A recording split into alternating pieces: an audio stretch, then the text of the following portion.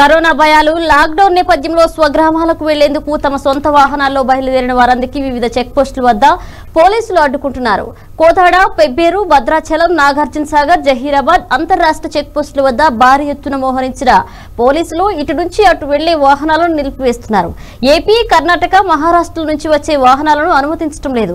కోదాడ వద్ద సుమారు ఐదు కిలోమీటర్ల మేర వాహనాలు నిలిచిపోగా పలువురు వాహనదారులు పోలీసులతో వాగ్వాదానికి దిగారు. కాగా పాలు కూరగాయలు మందులకు సంబంధించిన అత్యవసర వాహనాలను మాత్రమే తెలంగాణలోకి అనుమతిస్తామని అలాంటి వాటిని రాష్ట్రం నుంచి బయటకు వెళ్ళనిస్తామని పోలీస్ అధికారులు తేల్చి చెబుతున్నారు. చెక్ పోస్టుల వద్ద హెల్త్ పోలీస్ రవాణా శాఖ సిబ్బంది మూడు షిఫ్టుల్లో పనిచేస్తున్నారని ప్రభుత్వ ఉత్తర్వుల మేరకు నెలాఖరు వరకు లాక్ డౌన్కు ప్రజలందరూ సహకరించాలని